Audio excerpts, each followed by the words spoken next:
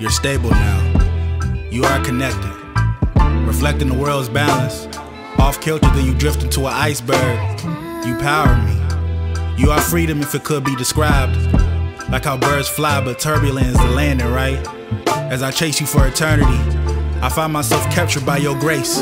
The trees give the same life that I inhale in the mind. Connected.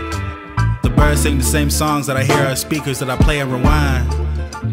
Blade of green gives me exactly what I need oxygen. Because without you, I wouldn't be.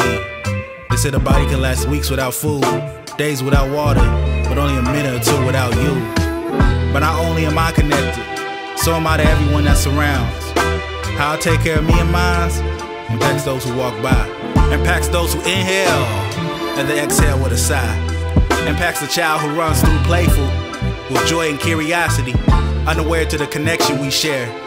But I know, so I must be cautious with each step as I broaden each breath with conscious reps. When you think about it, did man build the most famous monuments in the world? Or was it breath?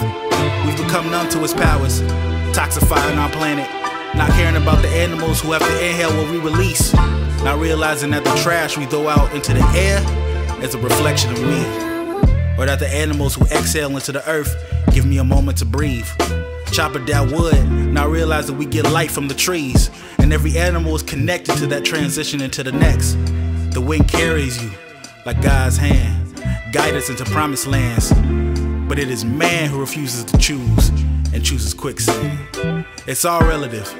If we are all electromagnetic, made of energy and frequency, then imagine the impact we leave to those that embody our space. With the energy we give off in our emotions and our face. A smile goes a long way, but so does the love, so does the hate. Our breathing can become shallow, and you can mimic the patterns of another's if you're not careful. Be conscious, breath is life. Don't lose sight. They say breathe in, count to 10, and you'll be alright. Slowing your breathing can lead you into a meditative fight between good and evil, thought and nothing. But for now, you're one with the world.